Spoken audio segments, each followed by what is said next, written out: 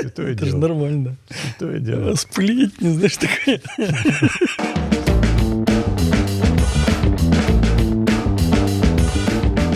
Здравствуйте, уважаемые коллеги, дорогие друзья. Мы находимся с вами в «Желтой студии». Э, Тема нашего разговора сегодня с Олегом Борисовичем, который мы не договорили в прошлый раз, э, это пищевод Баррета. Так мы точно. тогда коснулись вопросов диагностики, можете посмотреть в предыдущих подкастах. А именно эндоскопической точки зрения обсудили всякие нюансы, связанные с красителями. Хочу еще раз напомнить, Олег Борисович Ткаченко, это заведующий эндоскопическим отделением э, НМИЦ э, онкологии имени Николая Николаевича Петрова. Выучил, Я в прошлый раз, да, выучил очень хорошо. Э, И сейчас мы с вами поговорим, наверное, коснемся э, вопросов лечения. То есть э, то, что вот мы начали в предыдущем вып- выпуске, и, наверное, продолжим дальше. Ну, напомню, мы остановились на том, что разговаривали о хирургической тактике, когда мы не видим ну, там, дисплазию да, в эпителии, то есть, ну, имеется в виду рак, да, то есть, когда мы исключаем рак, дальше отправляем к хирургам, да, и решаем Не, вопрос, хирургам что, мы не отправляем. Я не отправляю хирургам. Ну, то есть, э, да, посыл понятен. То есть сначала пусть поживет, привыкнет с этой мыслью о том, что качество жизни его устраивает такое или нет. Если нет, Показания хирургии, может быть, хирурги со мной не соглашаться, три для меня лично. Первое. Внепищеводное осложнение, всякие пневмонии, бронхиты и так далее. Да, это серьезная история, надо, безусловно, хирургическая коррекция требуется. Второе. Неэффективность терапии, хотя... Когда ты видел последний раз неэффективность терапии? Наверное, бывает, но это Нет, такая бывает. казуистическая история. Это очень редкие пациенты. Во-первых, э, начнем с того, что пациентов с Барретом часто видишь. Я да. Ну, это присылают тех, Ну, которых... конечно, они а в концентрируются. рутине на самом Ну, деле не, не так часто. То Наверное, есть- если просто вот на потоке стоять, наверное, ну, не каждый день, конечно. Хотя это не редкость, но, но и не такая уж безумная, там вот прям, что постоянно приходят. Нет, настоящий бар, как мы в прошлый раз говорили, вот эти от сантиметра и более, когда ты четко границы определил. Нет, ну, ну, у нас, не знаю, еженедельно, наверное, там есть пациент, но не более. Ну, один там, да, где-то раз в неделю, раз в две недели раскакивают такие вот люди, Нет, ну, которым... Вот мы не договорили. Второе — это все-таки неэффективность терапии. Э, Какое редко встречается на сегодняшний день при всем выборе препаратов. И третье, оставшееся, это желание пациента. Поэтому, я говорю, я не отправляю, я говорю, я их все-таки предпочитаю. Я им объясняю то, что поживите, походите, подумайте, понаблюдайтесь, свыкнитесь с этой мыслью. Если вы уже после, спустя какое-то время, не неделю только, конечно, а речь о там, год, не знаю, если, ну, безусловно, нужно находиться на лечении, контроле каком-то. Если в этой ситуации у него все по медицинской части стабильно, у него нет каких-то там осложнений, но пациент говорит, нет, мне не устраивает качество жизни, ну тогда как, почему нет, конечно, можно оперироваться. Вот такой вопрос. Ну, все-таки крупное онкологическое э, учреждение, соответственно, ну, пациенты с пищеводом Барреттом концентрируются. А, Соответственно, было ли, ли наблюдение тех, кто пришел вот так вот с пищеводом Баррета, ну, без рака, да, ну, natural history, грубо говоря, Мгм. да. То есть э, были ли наблюдения вот в личной практике своей, что пациент ходил-ходил, и все-таки рак у него потом итоге находил. пришел? Нет. Ну, вот, честно говоря, я тоже не помню таких случаев. Обычно они бросаются в глаза, что вот ходил-ходил, и все-таки появился Нет, рачок. э, ну, э, тут есть несколько моментов. Да? То есть та выжидательная тактика, когда мы постоянно их наблюдаем, вот смотрите, есть пациенты очень часто делятся на два типа с, Барреттом. Тем, которым вообще все пофигу, а, и тем, которым, ну, вот страшно становится. Те, которые пофигу, они не приходят к нам. И, скорее всего, они приходят уже с карциномой. То есть, когда уже клиника появилась, какая-то там дисфагия, например, еще что-то, а, они не лечатся, ну, у них нет изжоги, качество жизни устраивает. Ну, врачи их не пугают. Интересно же. Ну вот. А, а, вторая категория, которая начинает с ума сходить. У меня будет рак. То есть как-то редко бывает посередине люди, обычно они такие вот в крайности вваливаются. А, и те, наоборот, очень дотошно ходят, они выполняют рекомендации, они пьют таблетки, они наблюдаются. И поскольку мы устраняем Да, мы не устраняем желчный рефлюкс, но тем не менее мы устраняем кислый рефлюкс, мы им там цитопротекторы назначаем, а, мы смотрим чтобы там ничего не выросло, в конце концов. И, по всей видимости, поэтому у них, наверное, не вырастает. Хотя, с другой стороны, но это все-таки должна быть огромная база данных. А, все-таки ну, хоть меня описан, молодым специалистом уже не назовешь, но тем не менее я там в эндоскопии с 2005 года. Да? То есть вот сколько там, 18 лет, грубо говоря, занимаюсь эндоскопией. А, и 18 э, лет это все-таки еще не тот срок, тем более, как бы, ну, говорить про меня как самостоятельного эндоскописта все-таки там меньше. Ну, пускай 15 лет, да. 15 лет приличный срок, но всех ли там отслеживаю? Как бы не всех, конечно, кто-то уходит. Я меняю места работы, там пациенты отваливаются, теряются контакты. Поэтому достоверно сказать невозможно. Но случаев, когда я бы проследил, что вот он приходил, не было ничего, а потом у него рак, таких нет, не было. Ну, вот, э, да, я тоже не помню на память, поэтому так сразу и валился. Хорошо, мы э, поговорили там, где нет у нас рака с пациентами, мы пообщались там, где у нас есть рак, а есть остается некое такое звено пациентов, которые там видят э, неоплазию низкой степени. Или еще иногда пишут умеренной степени. Вот как к ним относиться? Ну, умеренной нет. Ну, иногда а, пишут дисплазию умеренной степени. Я тоже могу там такого понаписать. Закачайтесь. А, здесь э, просто когда морфолог говорит э, типа умеренные, на мой взгляд, это съезжание соответственности, потому что тактика у низкой дисплазии, у высокой разная. А, я сейчас могу немножко приврать по поводу рекомендаций, а, по поводу тяжелой дисплазии, ну, high-grade дисплазии. Но просто какие основные постулаты? Без дисплазии и дисплазия низкой степени, на мой взгляд, самая интересная группа пациентов, потому что тут много коварных под таких вещей кроется. Сейчас мы о них поговорим. Дисплазия высокой степени достаточно простая штука, потому что если мы получили дисплазию высокой степени, а особенно если мы видим какие-то макроскопические изменения, будьте уверены, с большой долей вероятности там придет карцинома. По статистике это около там, 20%. После иссечения приходит уже рак в такой ситуации. Поэтому подход к тяжелой дисплазии как к раку. Это должно быть иссечение. Я почему замялся про э, гайдлайн, я, я сейчас не помню, как там написано, по-моему, абляция там стоит, что возможно выполнение, если я правильно помню. При тяжелой дисплазии. А, да, что возможно выполнение. Вот Но вещь. я с этим не согласен, потому что ну, макроскопический мини-тяжелая дисплазия, это, по сути, это рак. И выжигать рак, это, ну, последнее, что можно в своей жизни сделать, потому что, естественно, это путь к рецидиву и к прогрессии заболевания и лечению уже в худших условиях, в более прогрессивной стадии.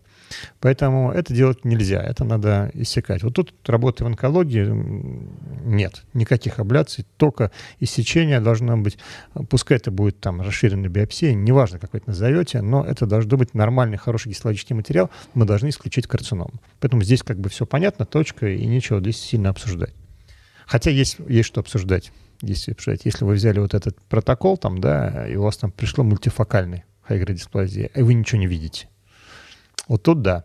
Тут вопрос интересный. У меня не было таких пациентов, но в теории это возможная история. Могут быть, да. А, и я бы тогда сказал, что а, задал бы вопрос, вы это делали на воспаление или нет? Раз.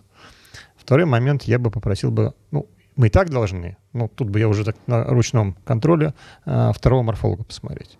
Потому что, а, еще говорю, работая в онкологии, регулярно имея таких пациентов, мультифокальной хагрейд дисплазии, ну, практически я не вижу. Не то, что практически, не, не, могу, не, может быть, память подводит уже, но не помню таких пациентов, что было мультифокальное без макроскопических изменений. А, поэтому это сомнительная история, я бы ее перепроверял. А, по-всякому. Ну вот, ну хорошо, ну предположим, есть такая история, предположим.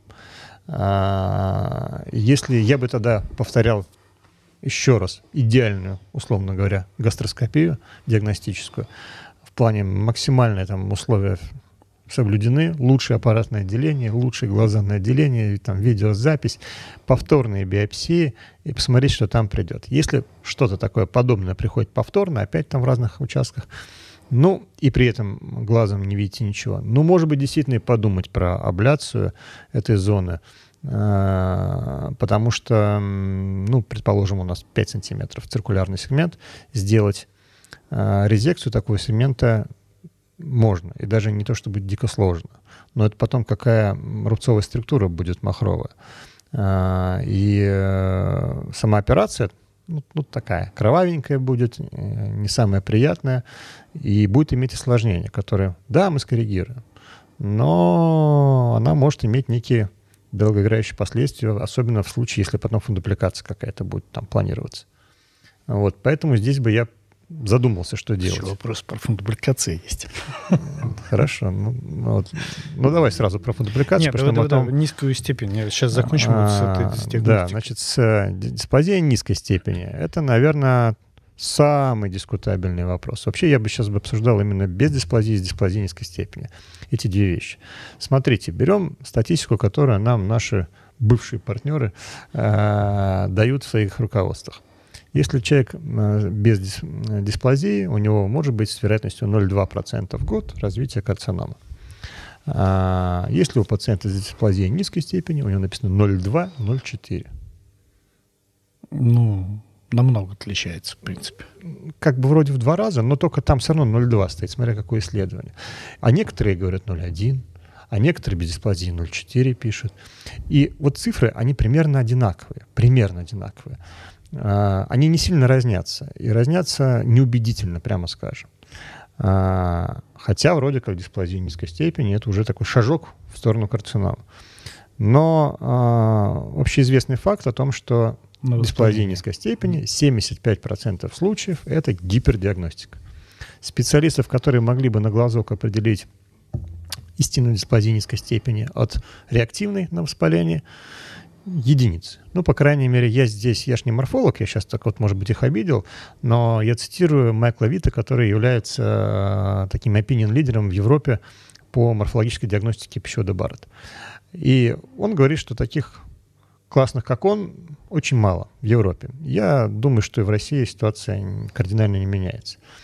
А, это очень сложное. Поэтому когда вы получаете дисплазию низкой степени, дальше стоит вопрос, знаете, так на, бы, на бытовом уровне. А кто это сказал?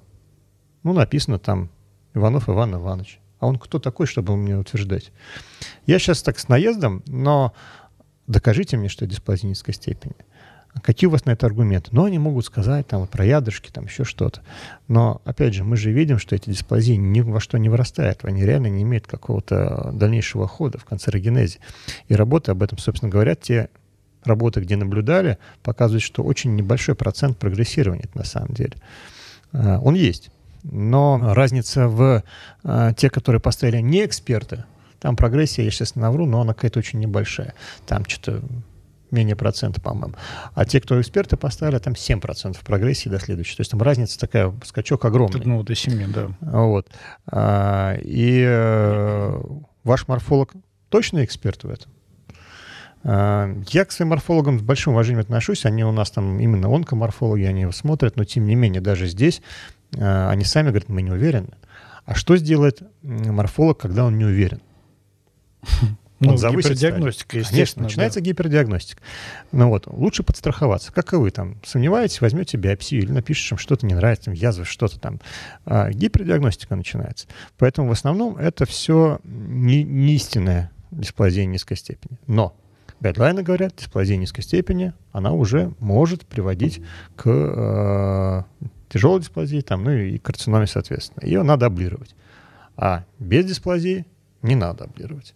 Но проценты статистически у них примерно одинаковые переходы в шажок, дисплазия низкой степени, гипердиагностика. И у меня возникает вопрос, а разница-то какая глобально вот в реальной практике? Как мы можем четко доказать, что это действительно дисплазия низкой степени? Внятных критериев нет. Нужен эксперт, морфолог. Ну, хорошо. Я ты, себе... Ты эксперт. Э, вот мы там себе звездочку сейчас э, желтую на грудь нацепим, что мы эксперты, да? Как это проверить? Как доказать? Это же настолько вот все субъективно. Даже в условиях проводки препарата могут крыться ошибки и э, симулировать в себе дисплазию. Поэтому я здесь считаю, что дисплазия низкой степени без макроскопических изменений Что с дисплазией, что без дисплазии, это просто пищевод Барретт. А вот если у нас есть макроскопические изменения, вы видите покраснение участка, депрессия. Локально какой-то участок с границами Да, вы да. его можете глазом четко определить. И у вас есть, морфолог пишет какую-то там дисплазию. Не очень внятно. В этой ситуации, на мой взгляд, логично, опять-таки, сделать резекцию слизистой, диссекцию, ну, короче, иссечение. Иссечение, а, иссечение именно, да? слизистой. Абляция. А, ну, здесь мы уже говорим о том, что здесь, возможно, а, как раз-таки недооценка этого участка.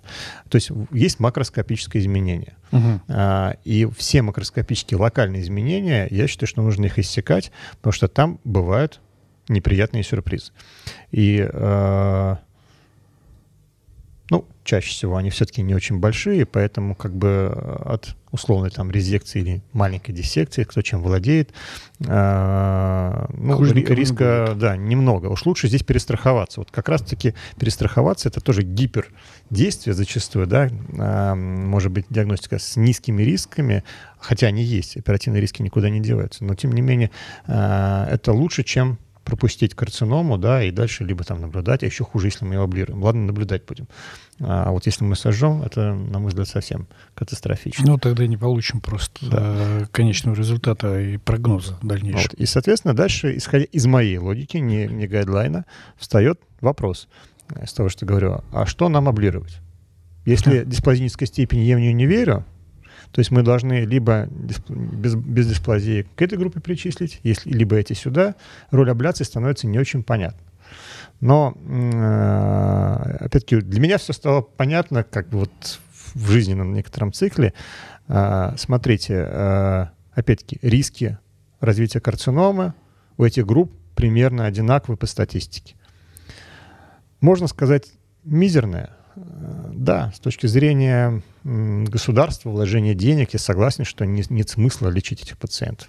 Это бессмысленная трата денег в глобальном масштабе. Но когда ко мне приходит конкретный пациент, ему дела нет до этих глобальных масштабов, он начитался интернета, он спать ну, не него, может, да, есть не может. Психологические такие и установки.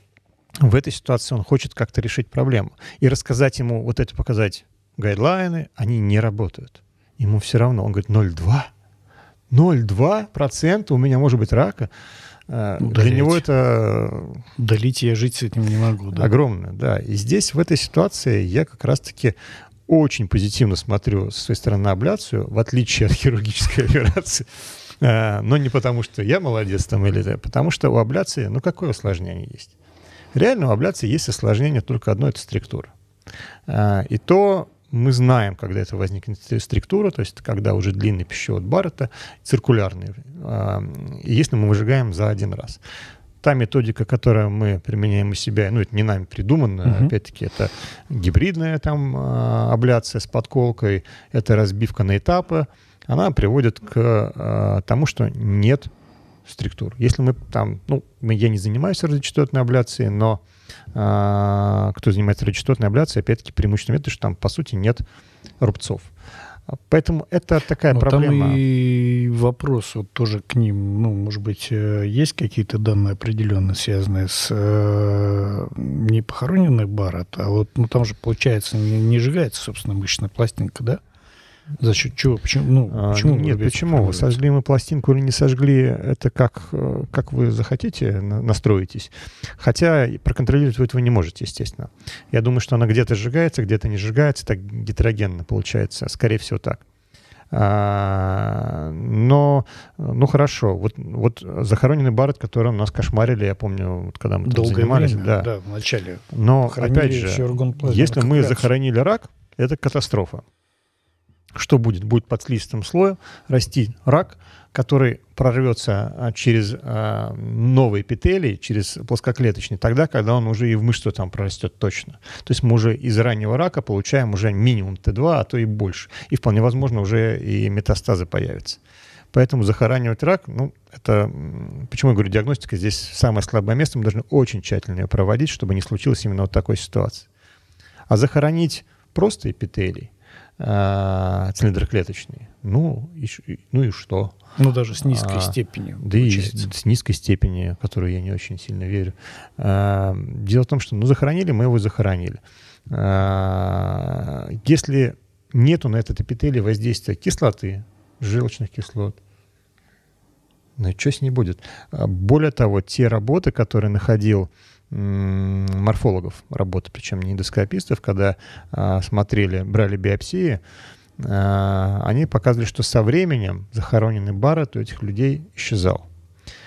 Ну, рефлюкс Тут можно, можно да. докопаться до качества работы, потому что вы точно в этом месте щипнули, да, там, может быть, туда-сюда, выщипывали, может быть, черт его знает, но, по крайней мере, они вывод делают о том, что а, со временем а, захороненный барот потихонечку исчезает у этих пациентов, что у них нет выхода желез а, наружу, и, и просто этот эпителий за ненадобностью как бы утрачивается. Да. А, не так давно у меня была пауза с этими баротами в выступлениях, Потом что-то стал смотреть, и тоже про захороненный барет решил так немножко обновить информацию. Другой подход заинтересовал. А, не, не одна статья, а много таких статей, оказывается, о том, что до лечения, до лечения, то есть когда первичный пациент берут, угу. у них в 40% случаев есть уже захороненный барет. Ну, известный же факт, что э, слизистая пищевода растет быстрее. Тут э, больше, наверное, к вопросу гастроэнтерологов, которые начинают лечить э, усиленные ингибиторами протонной помпы. И у них, кстати, вот, вот здесь я точно наблюдал, есть несколько пациентов, когда на фоне обычной ингибитором протонной помповой терапии пепелин э, наползает. Нет, Володь, здесь даже, ну, опять же, мы там со свечкой не стояли, но Нет, не а, ре, ну, речь говорю, о, о том, что говорит, у первичного пациента уже есть захороненный бар, потому что у него возникает эрозия, Возможно, он пьет ингибитор в этот момент сам, возможно, ему назначает, а может быть, само Просто проходит. воспаление да, зарастает. И вот это качели туда-сюда не происходит естественным образом, и где-то он захоранивается. И как раз-таки там, э, по-моему, вот этот, если не ошибаюсь, наш друг китаец Джо, э, он, э, как раз, по-моему, это его работа, о том, что он показал, что цифры могу немножко наврать, 40% до, а после абляции, именно аргоногибридной абляции, я не помню, сколько оставалось, но там пускай 5%. Ну, то есть кратно уменьшалось. Э, и абляция на самом деле уменьшает вероятность захороненного барота, а не увеличивает, как это говорили раньше. Просто Интересно, другое дело оценки. Зрения. Э, поэтому здесь, понимаете, вопрос, какая точка зрения, под каким углом изначально на это посмотреть. Э, опять же, повторю предыдущую мысль, что захоронить обычные петели, это не вижу в этом никакой проблемы. Поэтому, на мой взгляд, тема захороненного барота, она надуманная. И раки не захороненного барота растут а из захороненного рака. То есть вот, вот, вот где откроется ошибка. Если мы рак захоронили, конечно, прорвется и будет все не очень хорошо. Вот, поэтому я как раз-таки здесь настроен на абляцию очень позитивно, потому что это реально решает очень много вопросов. Е, давайте так, у нас нет доказательной базы о том, что э, абляция снижает риск рака. Вот, ну, по крайней мере, в гайдлайнах написано. Я такую работу не проводил и не могу, это такая же огромная популяционная работа, но они пишут, что это не приводит к снижению риска, риска рака пищевода. А, другое дело, что если мы убрали субстрат, логично, что он, мы снизим процент? Ну, логично. И пациентам это логично. И, э, и они хотят. У меня вчера был пациент, говорит, знаете, если вы найдете ультракороткий барот 0,2, вы мне его сожгите, пожалуйста. Сразу. Все равно сожгите. Говорит, я даже 0,2 не хочу. Я хочу вот как родился, и таким же вот завтра проснуться. Пациенты после этого успокаиваются. Они, нет проблемы, а дальше они готовы ходить, там есть таблетки, наблюдаться. Реально у них тревожность пропадает. А, тебе их наблюдать проще. То есть в чем здесь э, проблема? Э, глобально и стратегически я считаю, что если пациент тревожный, если пациент хочет, если у него есть пациент с дисплазией низкой степени, без дисплазии, и есть настоящий барот, ну хорошо, возьми, сожги его. Дальше как бы проблема, по сути, решается сама собой. Дальше он становится пациентом без барота. Хорошо. Э, следующий вопрос. Вот относительно диагностики вот этих мостиков качелей. А, если пациента ну, с баротом, и тогда уже диагностикой заниматься после лечения? Нет? Либо на фоне раз. воспаления. Ну, первичный пациент с баротом, то есть угу. диагностика первичная должна быть после лечения. Да? По-хорошему, да, конечно. Ну, то есть фактически не надо сразу бросаться со щипцами и пытаться укусывать весь этот барот, просто отправить его на какой-то промежуток времени полечиться. Ну, то есть как, как устаканить вот этот вопрос? По логике не надо. Но мы же прекрасно понимаем, что еще давлеет некая юридическая сторона дела. А как же ты нашел, а не сделал биопсию? Да и пациенты иногда тоже начинают агрессивничать. Ну, в юридической и, стороне здесь все можно объяснить. И гастроэнтерологи, как же это, вот этот термин «пустая гастроскопия», меня от него колбасит. Сами пустые гастроэнтерологи говорят.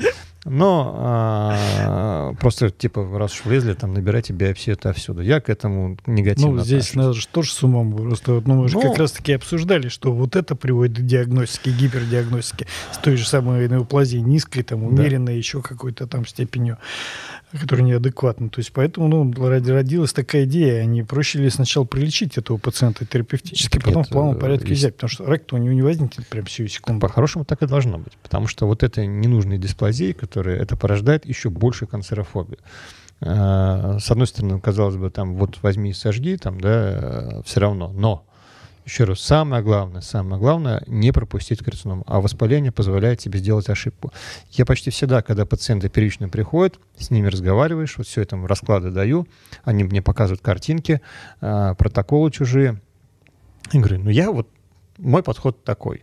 В основном подавляющее большинство пациентов эту точку зрения на ура принимают. Им она комфортна и понятна. А, и говорит, да, давайте, давайте, выжигаем, выжигаем его.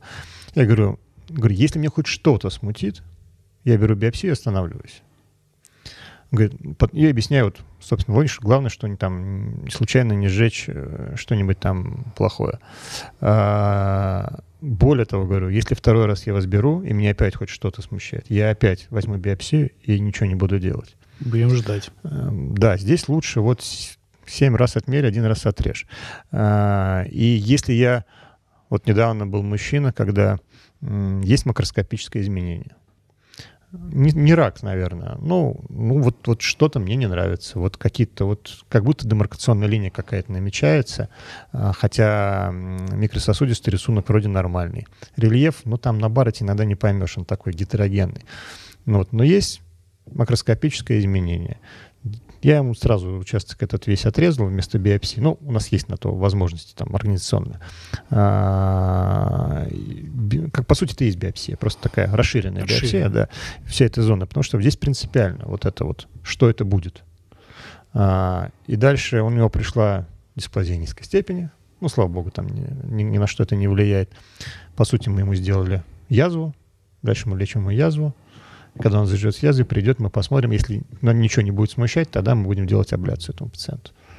И почти опять не добрались до основного диссекции. Можно один вопросик такой? Э, циркулярная диссекция. То есть, э, когда мы говорим о пищеводе Баррета, да, э, соответственно, находим даже, пусть будет этот рак, у нас есть циркулярный сегмент, мы понимаем, что даже два фокуса и так далее – Э, дальше этому пациенту после нашего лечения ну, будет, наверное, показано все-таки хирургическое лечение. Да?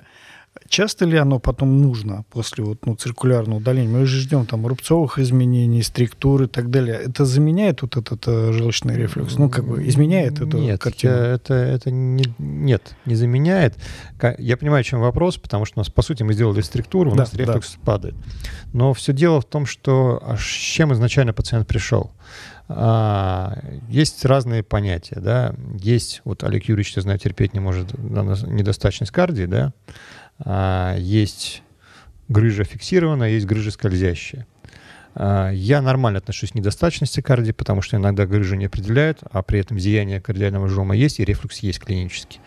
Поэтому я как бы, можно сказать, мы не недодиагностировали грыжу, но это ладно, отдельная история. Но просто если фундальная, э, фиксированная кардиофундальная грыжа, а мы выше сделали структуру, ничего глобального в жизни человек не... Он же ну, либо, рефлюкс будет либо дисфагия, потом бужироваться, да. Либо понимаю. мы э, его продилатировали, начинается рефлюкс.